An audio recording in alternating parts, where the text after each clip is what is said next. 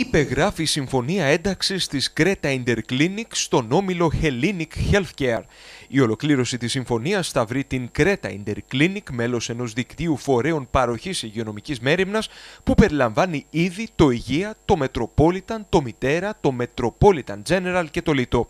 Το Hellenic Healthcare Group θεωρεί ιδιαίτερα σημαντική την επέκταση των δραστηριοτήτων του στο Ηράκλειο και την ένταξη του μεγαλύτερου ιδιώτη παρόχου υπηρεσιών υγείας της Κρήτης στο δίκτυο του ομίλου.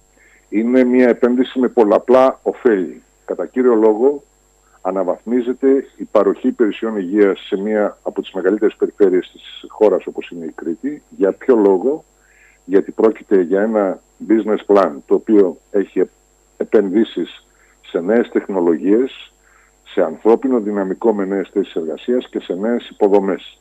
Ταυτόχρονα ε, όλοι οι πολίτες της Κρήτης που ζουν και εργάζονται στην ε, Μεγαλόνισο έχουν, θα έχουν ειδικά προνόμια πρόσβασης στις υπηρεσίες υγείας όλου του ομίλου. Η συνέχιση της λειτουργίας της Κρέτα Interclinic από τους ανθρώπους που την καθιέρωσαν στη σημερινή της θέση στην αγορά, σε συνδυασμό με τα πλεονεκτήματα της νέας συνεργασίας, αναμένεται να δώσουν νέες προοπτικές ανάπτυξης και περαιτέρω βελτίωση των υπηρεσιών που παρέχει στους ασθενείς της Κρήτης. Θεωρούμε ότι με αυτήν την κίνηση αναβαθμίζουμε τις, την παροχή υπηρεσιών υγείας σε όλο το νησί και ταυτόχρονα δίνουμε προνόμια στους ε, κριτικούς για την πρόσβαση σε υψηλές ε, υπηρεσίες ποιότητας υπηρεσιών υγείας που έχουν ανάγκη.